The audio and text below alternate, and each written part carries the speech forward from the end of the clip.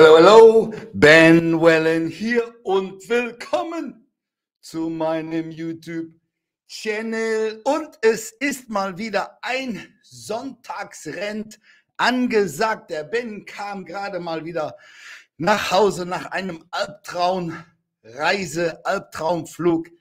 Mache ich ein anderes Video drüber, müsst ihr unbedingt hören. Aber darum geht es heute nicht. Heute geht es mal wieder um einen Sonntagsrent und über was sich der Ben so ein bisschen aufregen muss. Ich sage mal muss. So, wo fangen wir mal an? Mit der Massekonferenz. Diese Massekonferenz, die können einfach nicht aufhören, über den Ben zu reden. Der Ben ist ja so uninteressant, aber ständig nimmt irgendjemand meinen Namen in den Mund und hat mal wieder seinen Senf dazu zu geben zu irgendwas, was ich irgendwann mal gesagt habe. Und natürlich ging es wieder um diese blöde Ostgeschichte, wo ich 100 Prozent noch zu stehe, genauso wie ich es gesagt habe. Und das wird sich auch nicht ändern. So, wer hat mal wieder was gesagt? Naja, da waren zwei Clowns, die was gesagt haben. Aber ich sage jetzt nur über einen etwas. Naja, wer ist denn der eine, der da so ein Dünnschiss von sich gegeben hat? Naja, ihr wisst schon, der eins, zwei, drei Käse hoch, ne? Der, der Typ, der immer letzter wird auf jedem Profi-Wettkampf. Na, der, wie heißt der noch? Der Ölmichi. Der Ölmichi, genau, der aus Österreich. Genau, richtig, richtig. Und der hat mal wieder so einen richtigen, schönen Schiss aus seinem Mund hingelegt, ja, nicht aus dem Arsch, sondern aus seinem Mund, hat er gesagt, jetzt muss mal da so ein bisschen Scheiße rauskommen. So, was hat er bei den Band gesagt? Er hat gesagt, ich kann doch nicht einen für voll nehmen, der vor 30 oder 40 Jahren seinen Höhepunkt der Karriere hat. Oh, nein, das kann ich doch nicht. Hey, Lee Haney, wann warst du Mr. Olympia? Ah, vor 40 Jahren. Junge, also wenn du jetzt irgendwas über Bodybuilding zu sagen hast, tut mir so leid, niemand kann dich mehr für voll nehmen, weil es ist schon so lange her, weißt du? Ja, ich weiß, du warst achtmal Mr. Olympia, aber das letzte Mal vor 32 Jahren. Und jemand, der zwischen 30 und 40 Jahren seinen Höhepunkt hatte, ja, die kann man doch nicht mehr für voll nehmen. Liheni, hinsetzen, halt die Klappe. Ne? Du weißt gar nichts mehr. Zu lange her. Ne? Okay? Oh, okay. Hier kommt mal die Richtigstellung. Gut, mein Höhepunkt, ja, ist schon ein bisschen her. 22 Jahre, um korrekt zu sein. Okay, okay, lange Zeit, lange Zeit. Okay? So. Aber, ja, zu der Zeit, da gab es im Jahr noch vier, fünf Pro-Karten, glaube ich. Jetzt gibt es 1500 Witzkarten, äh, ich meine Pro-Karten. Ja, also unfucking fassbar. Jetzt sage ich dir mal was. Öl, Michi. Ja, pass mal auf. Hör mal genau zu. Vor 30 Jahren. Jeder Top-5-Athlet auf der WM vor 30 Jahren hätte jede Pro-Qualifier Feier 4 Feier gewonnen. Heute. Top 5. Ein Alfred Neugebauer, der hätte jeden zerstört. Ja, auf so einem Pro-Qualifier. Die Top 5 auf einer WM von vor 30 Jahren und dann die Liste hoch. Hätten euch alle den Ass gewuppt, wie man so schön sagt in der Form von vor 30 Jahren. So gut seid ihr heutzutage auf eurem Pro-Qualifiern. Ja, seid ihr so stolz, IFBB Pro.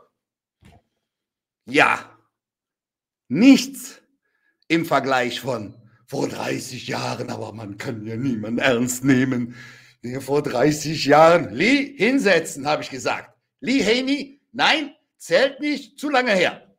Shut up. Okay. So, ja. Also, wie gesagt, jetzt gehen wir mal 30 Jahre zurück. Öl, Michi. Ich würde sagen, du hättest niemals eine WM gewonnen bei den Amateuren, niemals eine Europameisterschaft bei den Amateuren. Du wärst niemals österreichischer Meister geworden. Bei den Amateuren Dorfmeister. Naja, okay, vielleicht ein bisschen übertrieben. Stadtmeister. Stadtmeister hättest du wahrscheinlich geschafft vor 30 Jahren. Weil so war das Level damals bei den Amateuren. Stadtmeister. Der Ölmischi ist Stadtmeister. Und da klingelt sogar mein Telefon. Schau dir das mal an. Oh mein Gott, direkt ne, weg damit. Gut. Vergessen, Telefon auszumachen. Ah, ich rede mich schon wieder in Rage. Wo bin ich denn jetzt hier? So, auf der FIBO. Jetzt reden wir wieder über Lee. Ja, jetzt reden wir über dich. Nochmal hinsetzen.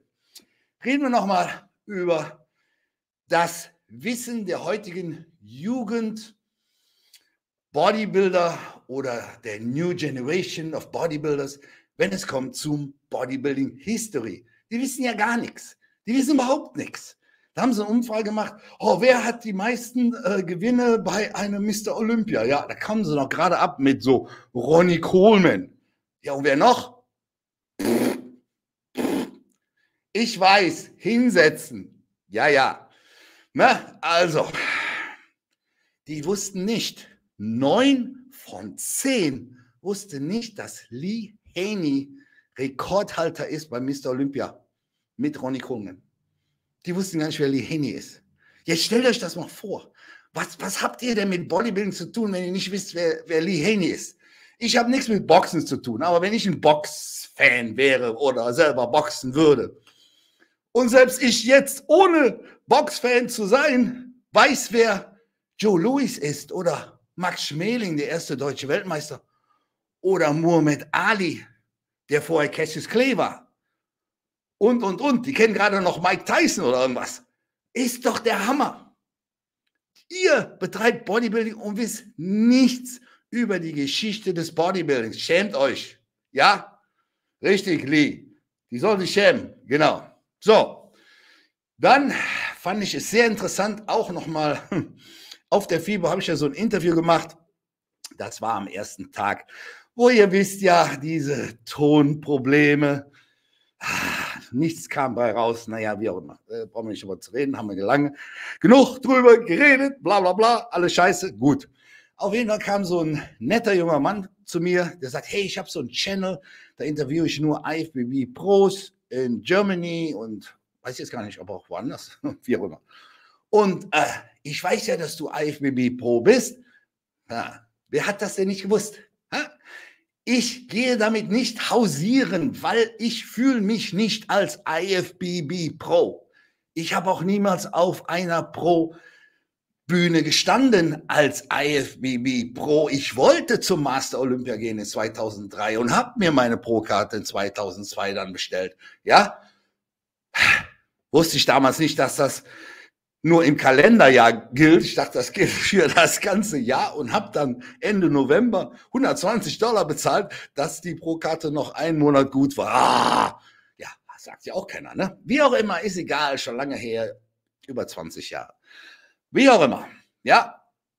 Und der hat mich interviewt und hat gesagt, ja, weißt du, was die Leute sagen? Die sagen, ähm, wenn du bei der NABA judgst oder bei irgendeinem anderen Verein außer der IFBB Pro, dann hast du keine Ahnung vom Judgen.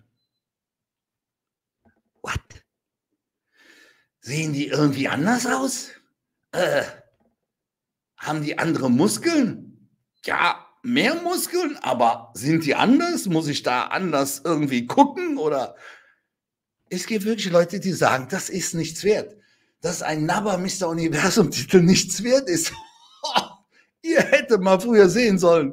Na, aber Mr. Universe, was da für Kaliber aufgelaufen sind.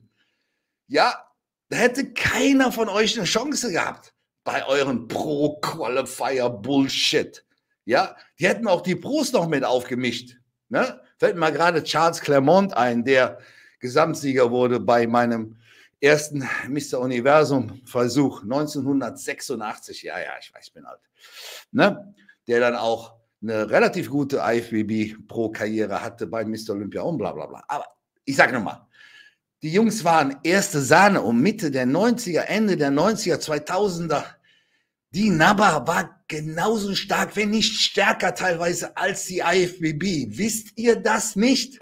Nee, wisst ihr nicht. Ja, ihr habt keine Ahnung. Ihr könnt nur fünf Jahre zurückdenken und dann wisst ihr vielleicht noch ein bisschen was in den letzten fünf Jahren, was da so abgelaufen ist in der Geschichte des Bodybuildings mit der IFBB, weil alles andere zählt ja nicht. Ne, wenn du irgendwo anders gewonnen hast, zählt ja nicht. Ne? Wenn du irgendwo anders gejudged hast, hast du keine Ahnung vom Judgen, zählt ja nicht. Ha. Ich lache mich tot, ey, wirklich tot. Ich sage euch mal den Unterschied. Ich habe ja bei der NPC in Amerika gejudged, okay? Nein, keine Profis, Amateure. Meine Erfahrung ist, der Judging Panel jedes Mal von der NPC die unfreundlichsten Leute, Leute, die einen Höhenflug hatten, Leute, die gedacht haben, die sind der Shit, die sind besser, äh, die haben irgendeine Powerposition und, und, und, habe ich mich immer am unwohlsten gefühlt. Und das hat natürlich nachher in einem Streit mit diesem Korinthenkacker John Lindsay ausgeartet. Ja, dass ich ihm gesagt habe, fuck you und bin dann vom Judging Table weggegangen. Ne? Das ist der Ben, ja, der macht das schon mal. So, ähm, das dazu und ob du das judgst oder das, ist alles dieselbe Kacke. Gar kein Unterschied, ja? Und denkt nicht, weil ihr IFBB Pro seid. Ist ein Witz heutzutage. Sorry, ist ein fucking Joke. Wenn ihr nicht zu den Top 10 gehört in der Welt, ihr seid ein Joke in dem Moment. Immer noch. Ihr könnt euch noch hocharbeiten. Ja, klar. Aber mit 1500, also fast 1500 pro Karten pro Jahr, davon sind, naja, ich nehme das mal zurück, wenn ihr nicht Top 10 seid. Von den 1500 pro Karten pro Jahr sind 1480 ein Witz. So, das ist meine ehrliche Meinung. Bei 1500 sind 1480 ein Witz. 20 sind wahrscheinlich pretty good. Die sollten auch pro sein. Ja, alles andere, nee. Und die meisten stellen sich eh nicht auf eine Pro-Bühne, die machen dann, oh, im IFBB Pro. Hey, Ben ist IFBB Pro. Wo liest du das? So ein Scheiß, interessiert mich gar nicht. IFBB Pro. Ja, okay, weil so fühle ich mich nicht, so bin ich nicht, so war ich nicht und ich habe nie so auf der Bühne gestanden und das Minimum ist, dass man mal so auf der Bühne auch steht, um es überhaupt so zu nennen. Und dann gibt es noch den Unterschied, was ist ein Pro? Ist jemand, der damit Geld verdient. Wenn du kein Geld verdienst mit diesem IFBB Pro-Titel, ja, wenn du noch nicht mal einen Sponsor hast, dann bist du kein Pro. Ja, ein Pro heißt Professional, das heißt, ich lebe davon. Okay? Und wenn du nicht davon lebst, bist du kein Pro. Dann bist du einfach nur ein Amateur mit einer Pro-Karte.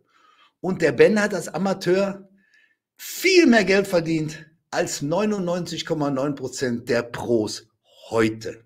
Okay? Das mal nur zur Klarstellung. Ne? Ja?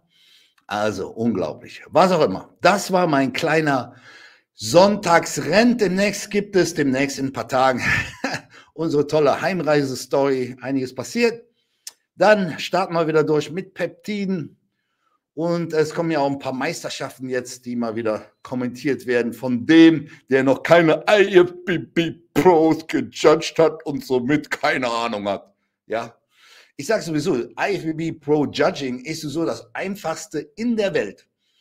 Alle haben sie die Hosen voll, die vorne am Judging-Tisch sitzen. Der Einzige, der unter Kontrolle ist, ist der Head Judge, weil der stellt sie so auf, Mitte und rechts bis der zweite Platz, links, dritter Platz, vierter Platz, fünfter Platz. Ja, so ungefähr. Und so wertet ihr. Und wenn ihr da so ein bisschen raus seid aus der Norm, aus den Werten, dann wird dann nächstes Mal gar nicht mehr reingenommen. Deswegen haben die alle Schiss.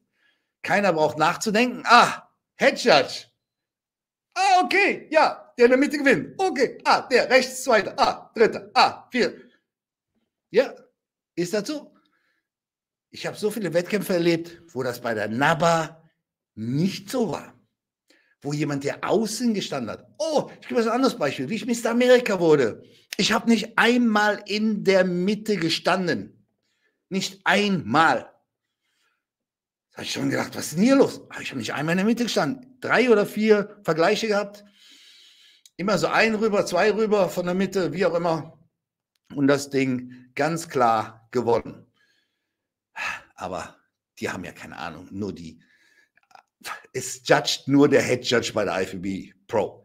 Ja, alles andere ist einfach nur Follow, Follow. Ah, Head Judge, ah, ah, ah, ah. Gut, that's it. Das ist, how tough Judging ist bei den IFBB Pros. Okay, also jetzt bin ich aber endgültig fertig mit meinem Sonntagsrent und wünsche euch einen schönen Sonntag. Regt euch nicht auf. Ne? Und äh, ich hoffe, es geht euch allen gut. Und ich hatte viel Spaß auf der FIBO. Bis zum nächsten Mal. Euer Ben Wellens. Out, out und out.